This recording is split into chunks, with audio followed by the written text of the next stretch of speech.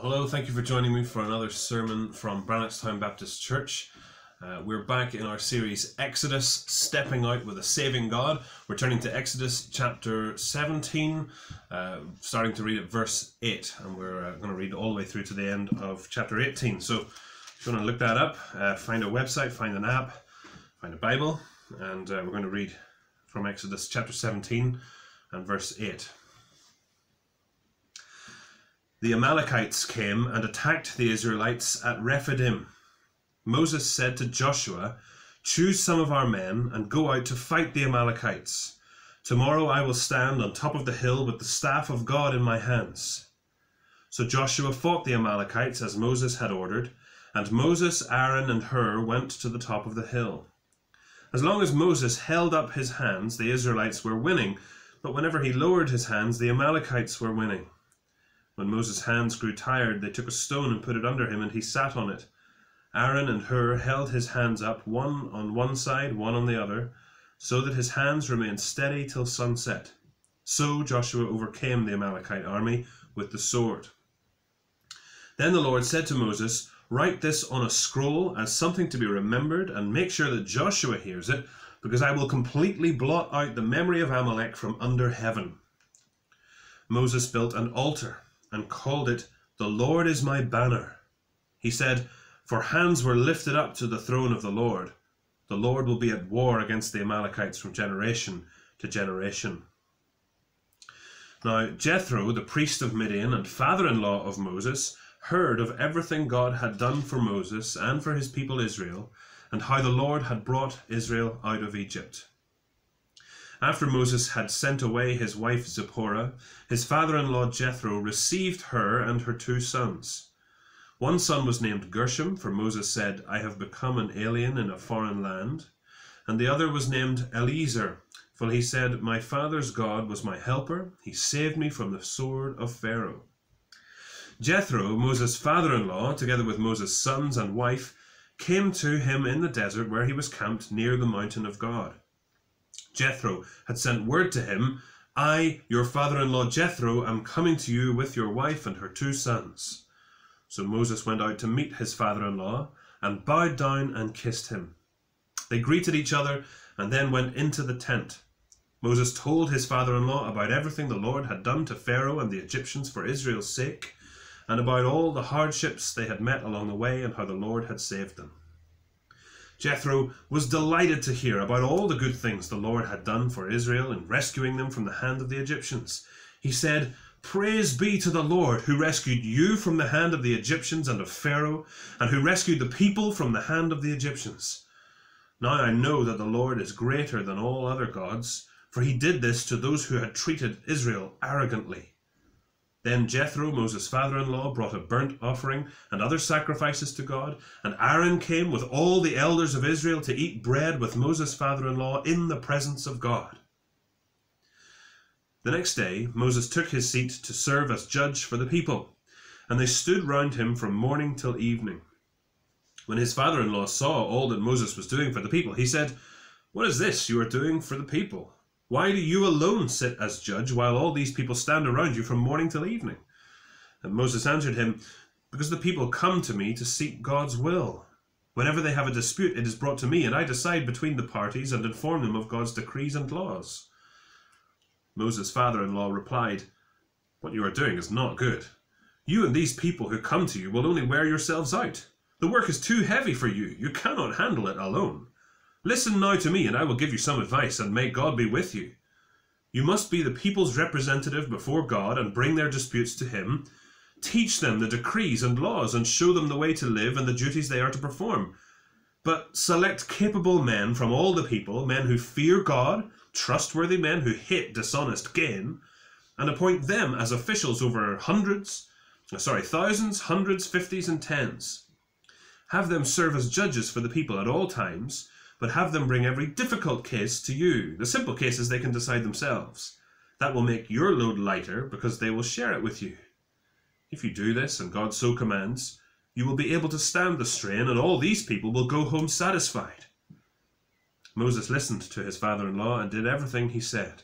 He chose capable men from all Israel and made them leaders of the people, officials over thousands, hundreds, fifties, and tens. They served as judges for the people at all times. The difficult cases they brought to Moses, but the simple ones they decided themselves. Then Moses sent his father in law on his way, and Jethro returned to his own country. We finish our reading there, uh, and that's God's word. Uh, we're thinking today about enlisting with God. Enlisting with God. In last week's passage, we thought about trusting God, and that was our title, and that's the format of title that we're going to keep on for a few weeks, God willing. Uh, this week, we're thinking about enlisting with God. Not immediately obvious what I mean by that shorthand, so let me tease it out a little bit. Enlisting means that we submit to a commander, uh, a commander in chief, if you are from a certain uh, background. Uh, enlisting means that we sign up to obey his orders, uh, to carry out his plans and achieve his goals. It means that he sets the agenda for us according to his wider purposes. Um, so, in human terms, it might look obviously like enlisting in the armed forces to serve in a war effort.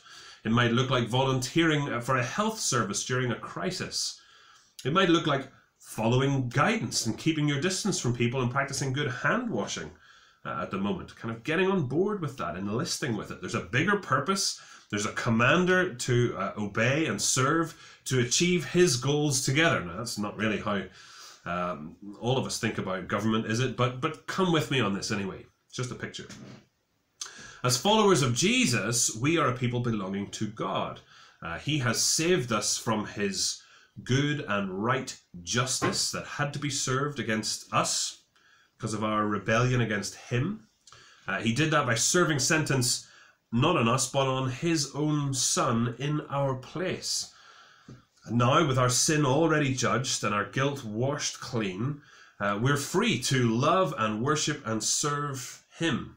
We, uh, we are enlisted, we, we can enlist um, we're, we're qualified by his Son and we're equipped by his Spirit to enlist and to live as his people.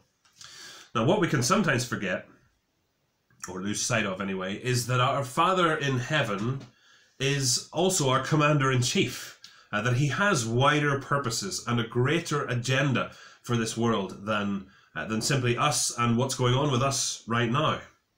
Now, because he's our Father, he is uniquely loving and he cares intimately about what is going on with us right now. And because he's God, he is able to manage and direct all things from global affairs to your daily uh, trials and triumphs um, and achieve exactly his purposes at every level, working for the good of those who love him and working for all that he's promised on the grandest of scales. Uh, but as we sometimes forget, he does have a grand scale and a great agenda ongoing. God is at work in this world uh, and, and in history and in eternity, and things will not always be as they are now. This world is shaken up at the moment, isn't it? By the departure from normal life as a result of this COVID 19 virus. We had a way of life, we assumed it was stable and it would just kind of go on indefinitely, but everything's been completely disrupted by this virus and our need to isolate ourselves. Um, effects on health, on jobs, on businesses, on emotional and mental health, and, and much more besides. You know what's going on. Uh, and everything has changed to an extent that we didn't think was possible. Um, in the last few years, we thought the biggest global shift that could ever happen was something like a country exiting from a union of countries. um, you know, the Brexit referendum has been described as a political earthquake. Little did we know uh, how much more things could be shaken up. But when we open the Bible, uh, we find a God, our commander in chief, who is intent on shaking things up uh, to an extent that we can still hardly imagine, even at a shaky time like this. Uh, we find a God who is going to change the global status quo completely and forever. Uh, new life, new health, new government, uh, sin quarantined forever, sickness, sadness, death, mourning, all eradicated like old diseases that have no power over our new eternal immunity. Uh, and as God's church, as God's church, we of all people should be those who know that the earthly status quo is never permanent, uh, and whatever way things are right now is never going to last. uh, whatever new normal we come to as we adjust to this coronavirus, that new normal won't be forever either. Uh, God has bigger plans to shake things up in ways that will amaze even people like us who live through such a shaky time as this. And we get a sense of this and just a hint of it in today's passage in Exodus. It's a strange episode. Bits of it don't really seem to fit where we find them. Uh, in fact, the events of chapter 18 uh, at least might have happened a little bit later. Uh, it might have been reported here as a kind of bridge between two great sections of, of the story. Um, so now that the Exodus escape is complete, and before we come to the huge sections of, of the Bible, several books, where God teaches his people how to obey and worship and live with him and live for him, we have this little gap, this little window onto all that he's achieving in all of this. We have a window into the ways that our uh, commander in chief is shaking up the whole world according to his plans and purposes. And so, in, as we enlist with God, we are enlisting to serve his purposes, to all that he's doing, uh, as he shakes things up forever. Uh, so, what is he doing? Uh, what are his grand plans? Um, how do we see them here in this little gap, this little window? How are they played out in miniature here in the history of Israel? Let's see three plans that God has for Israel and in time for the whole world uh, through Jesus. And the first of them is this God will judge the nations in rebellion. God will judge the nations in rebellion. We're always lulled into thinking that, yeah, nothing ever changes. But, uh, but here's a major change coming to this world. God will judge the nations in rebellion. And that's played out in chapter 17, verses 8 to 16. In verse 8, the Amalekites come and attack the Israelites and provoke a battle. Moses puts his assistant, Joshua, more about him uh, later in the Bible, uh, in charge of the armed response. And Moses takes his staff, uh, the staff of God, up onto a nearby hill. I'm reading, uh, I'm reading Lord of the Rings at the moment with one of uh, one of the kids, uh, the Fellowship of the Ring, just the first the first book. I can't help, just because of the way I am in my head at the moment, I can't help seeing Moses as a kind of Gandalf figure, uh, holding his staff on the bridge in Moria. You know, it's, it's not that helpful an image. I'm not entirely sure why I'm sharing it. Let's move on. Verse 11. Verse 11. Where is it? Quickly.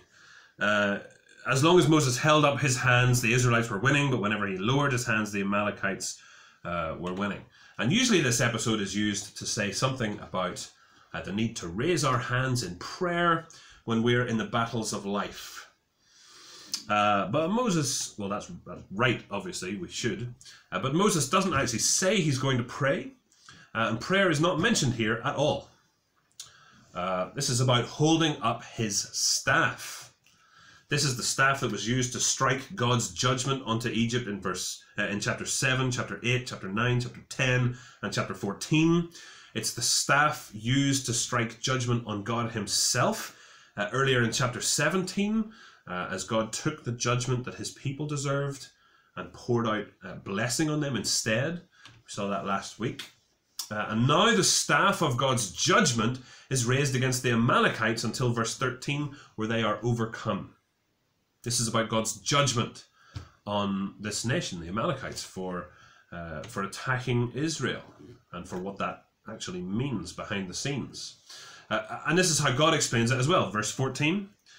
Uh, the Lord said to Moses, Write this on a scroll as something to be remembered, and make sure that Joshua hears it, because I will completely blot out the memory of Amalek from under heaven. So God is judging, and God will judge the Amalekites. And Joshua needs to hear it not only to understand just uh, what's happened on the battle he was just fighting, or uh, but but also so that he understands what he needs to do in the future when he leads the Israelites against them again. And then verse 15, Moses built an altar and called it, The Lord is my banner. He said, For hands were lifted up to the throne of God. The Lord will be at war against the Amalekites from generation to generation. The Lord is my banner. Um, in a battle, you rally to your banner, you follow your banner. Um, for Israel, the banner is not held by Joshua on the battlefield, but by Moses on the hill. The banner is God Himself. His people rally to him, his people follow him. Verse 16 probably means that the hands of the Amalekites were raised against God. Um, these hands lifted up to the throne of God. Um, probably, I think, means the Amalekites. So if someone lifts their hand to you, they're probably going to hit you. Um, or think of fists being shaken in defiance. Verse 16 the Amalekites were shaking their fists at God, um, and God will lift his hand in judgment, uh, just like Moses is doing here, until that judgment is complete, as rebels and rebellion itself are wiped out. And as verse 16 predicts, that rebellion will be persistent. The Amalekites will keep coming back against God and his people. They actually return a year after this incident. Uh, the fear of them is part of the reason the Israelites are too afraid to enter the promised land when they get there the first time. When they do enter it, the Amalekites oppose them through the book of Judges, uh, 1 Samuel, uh, and a little beyond. But the enmity goes backwards as well. Amalek himself, the figure, because these names come from um, um, ancestors. Amalek himself was a, grandson of Esau, so this fight goes back to Esau and Jacob, who butted heads, didn't they? Jacob, who is renamed Israel, father of the Israelites. Uh, it reflects back to, to the brothers Cain and Abel, uh, and their their their disagreement, their fight, uh, and rebellion against God goes all the way back to Satan uh, all the way back, all the way back to him, uh, to his rebellion against God, all the way forward as well to, to Babylon and Israel, all the way forward to the world and the church. Um, all of these are pictures of rebellion ultimately against God, and God will judge the nations in rebellion. He will quash all rebellion. Uh, and since He is perfectly good and right and just, then it is perfectly good and right and just that He should do that. Uh, this, this rebellion, this age old shaking of fists against God, is totally wrong. You know, we don't much like to think about judgment uh, and the justice of God, but when we get a proper view of Him, of His perfect goodness, His, His rich generosity, His abundant patience, and His loving kindness, then we get a whiff of how offensive it is to rebel against Him. You know, I've been walking along um, a country road some of these afternoons just along from our house, well within the two kilometre limit. Um, imagine listening to this sermon like a year down the line. It'd be what? Two kilometre what? Anyway, but there's a huge stone wall along the footpath, about half a kilometre from the house, I think. Um, uh, well, about half a kilometre from the house, I, I think it is. That there's a there's something on the other side of the wall that has died. You know, the wall's too high to see what it is, and it's not the sort of place you want to linger because I don't know if it's a sheep or a deer or some badger or I don't know what, but it reeks. Oh, it is an affront to the nose. It's an offence to the country air of, of Brannockstown. Um, just foul. You know, growing up, uh, we had a dog that would uh, would find that sort of thing on walks and roll in it, just get it all smeared. And she had long hair as well, so she really could pick it up. And despite all commands to the contrary, she would she would rebel until she herself was an offensive stench and subject to the chilly judgment of the garden hose. Um, rebellion against a God like our God, a God like Jesus, Jesus who is the image of God and the exact representation of his being, says uh, in the New Testament, that, that rebellion stinks. And it won't be allowed into God's house. He will judge the nations in rebellion, and it'll be deserved, it'll be necessary, it'll be right, and it'll be good. Um, and the amazing thing about God, though, is not just his perfect justice, but his loving mercy. Uh, because we've all shaken our fists at God, haven't we? We've all raised our hands and our hearts against him. Uh, but while Moses raises his hands to dispense God's judgment, Jesus spreads his hands to receive it in our place. And that's why uh, our second point is kind of paradoxical to the first. So God will judge the nations in rebellion, but the second grand plan is God will welcome the nations in worship. God will welcome the nations uh, to worship. That's our second heading. It's the second of our, our commander's grand plans for the world. Uh, and our second little window into what he's doing on this global scale. God will welcome the nations to worship. We're going to see this played out in chapter 18 first half thereof. Now, the chapter ends with Moses applying God's law to the people. Now, that hasn't been given yet, Um, so Jethro's arrival might have come a little bit later uh, and just be kind of moved up the, the order here, um, included so that it doesn't interrupt the flow of the rest of the book later on. It doesn't really matter if that's the case or not. Moses' father in law arrives with his wife and two sons. Moses met and married Zipporah during his, his own personal mini exodus. Do you remember when he, he killed the Egyptian and had, and had to flee Egypt and he went off into the wilderness in the same direction as these people are going now for 40 years, same uh, sort of length of time. Uh, met God in the fire of the burning bush on the mountain, the same place where he's going to meet God at Sinai in fire on the mountain uh, with all of the people. So he went on this mini exodus. That's when he met um, Zipporah and married her.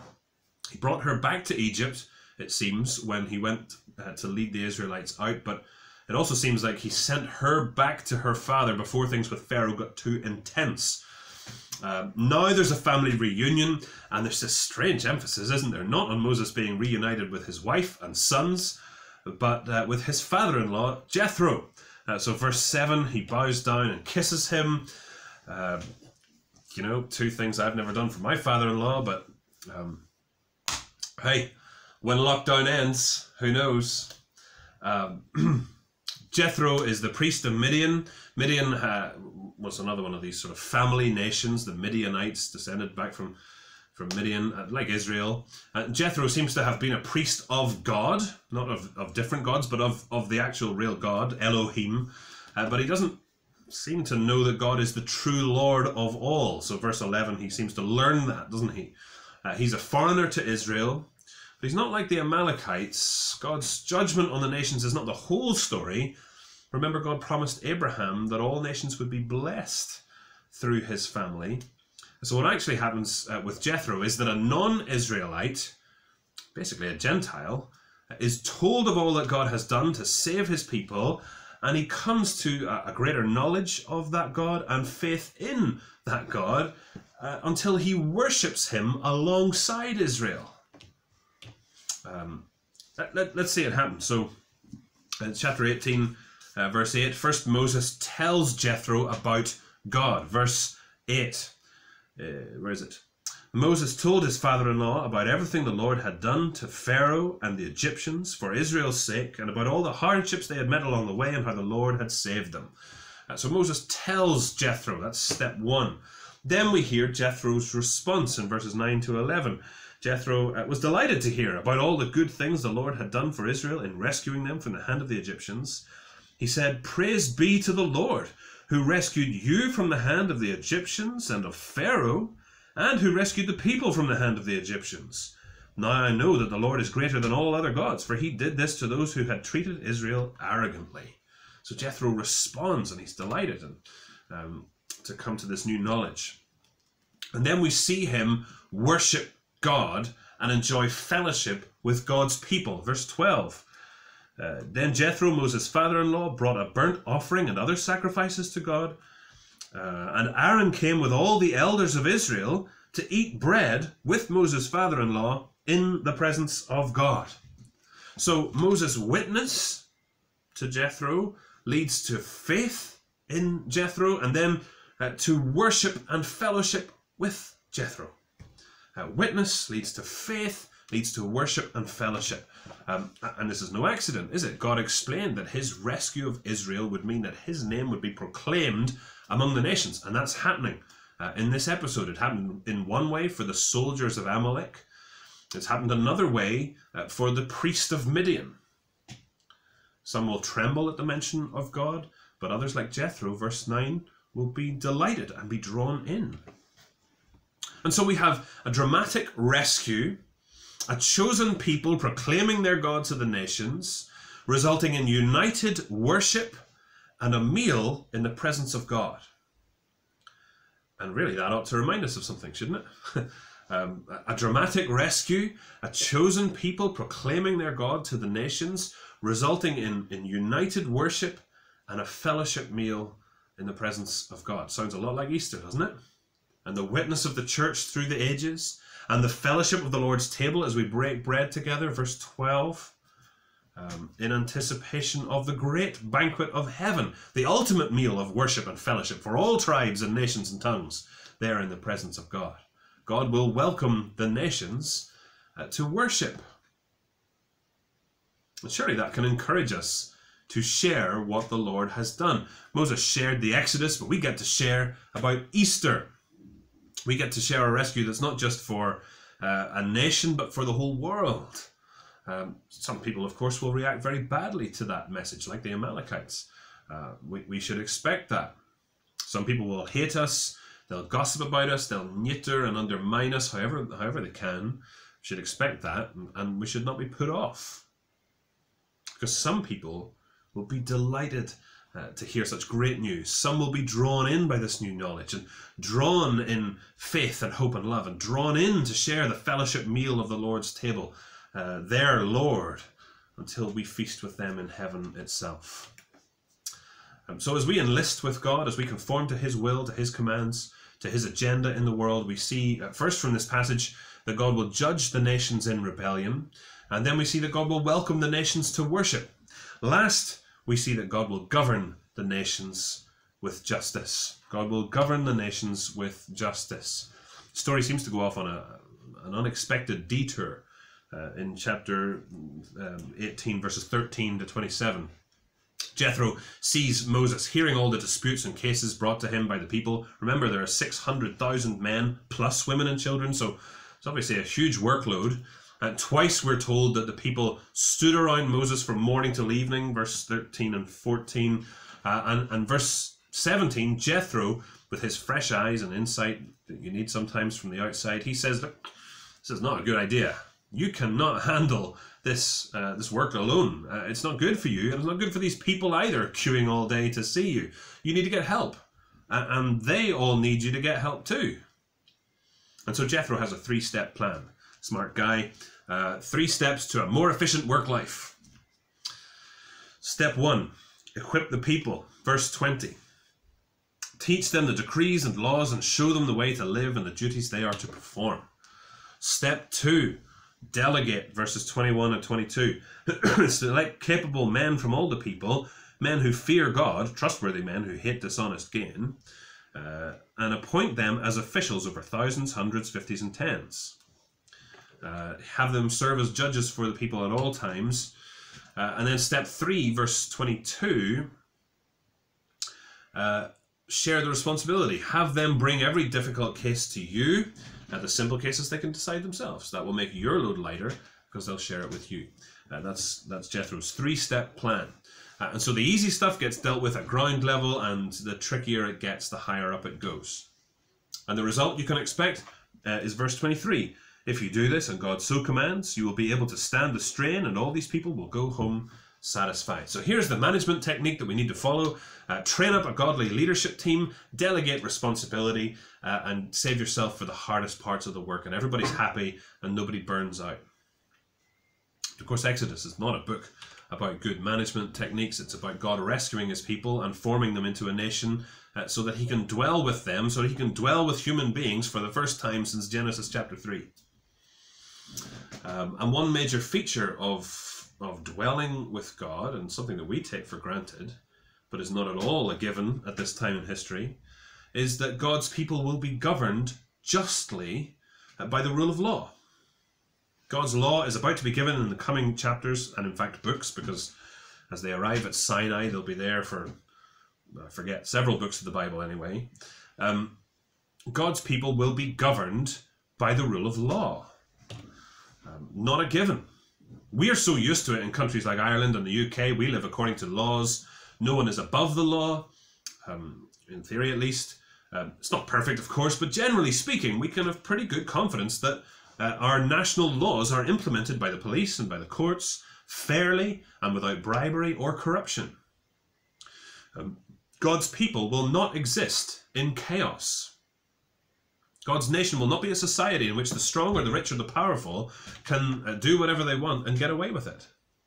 God's nation will not be a society where the weak and the marginalized and the poor are stripped of rights and left with no voice.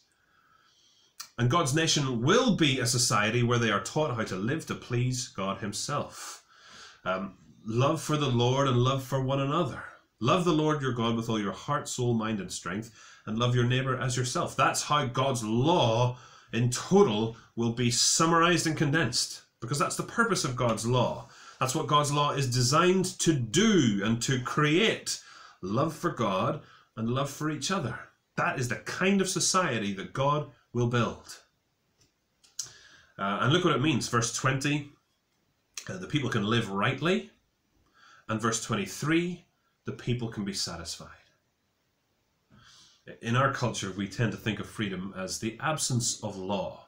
So I can be free only when no one can tell me what to do. You know, so my body, my choice, say those on the far left who want abortion on demand. Um, and bizarrely at the moment, my body, my choice, say protesters on the far right who want to open up businesses in the middle of a pandemic. You can't tell me what to do, screams the, the stereotypical teenager. Uh, freedom is about the absence of law, or, or so we think.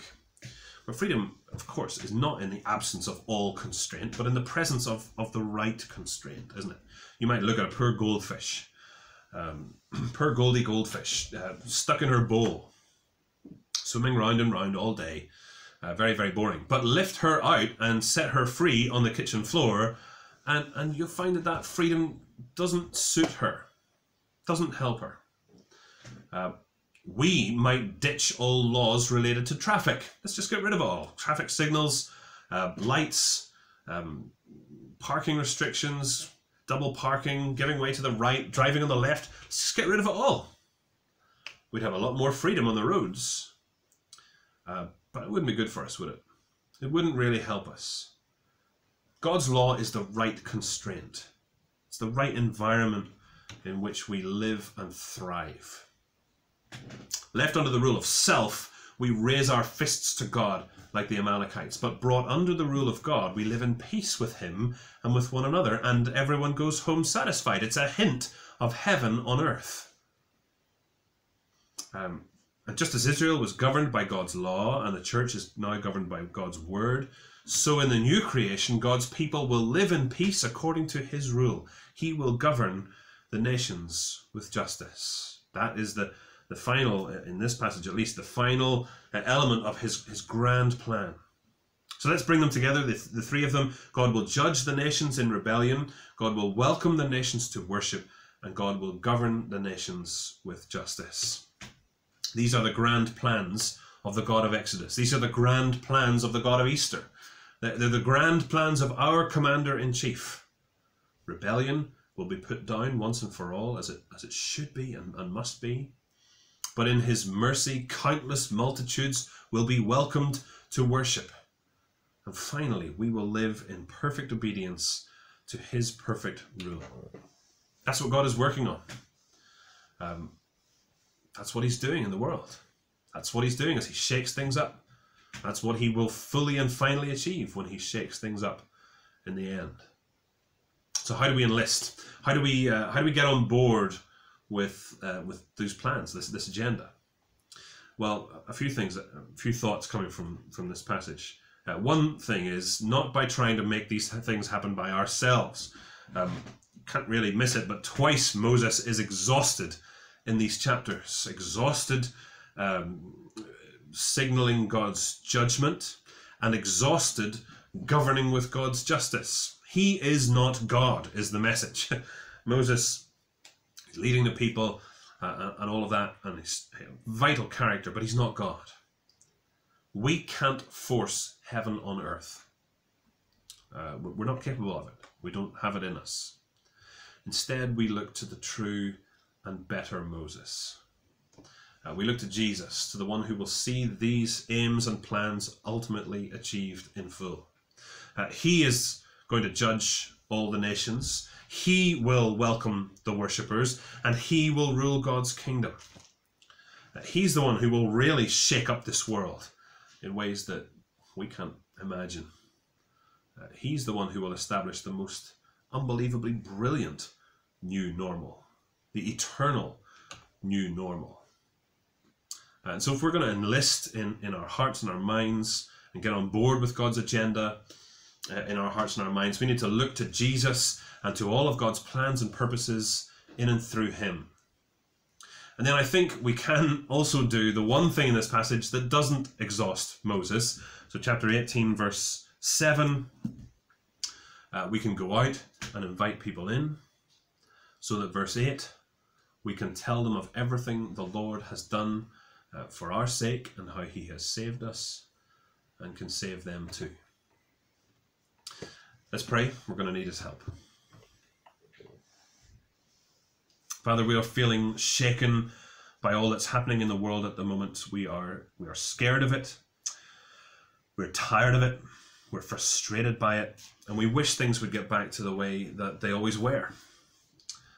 Uh, but help us in this time to realize and remember that things were never going to stay one way, and that you have a great overarching agenda for this world that you've made, that you will shake it once and for all as you establish the new creation.